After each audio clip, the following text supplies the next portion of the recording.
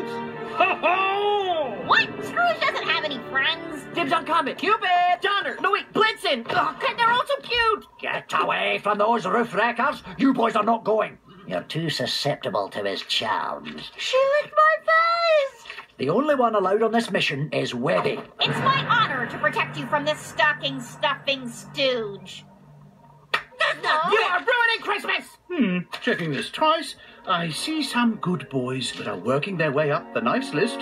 That's us. He's talking about us. If they behave tonight, they might get an extra gift in the morning. Who will? Us. Right.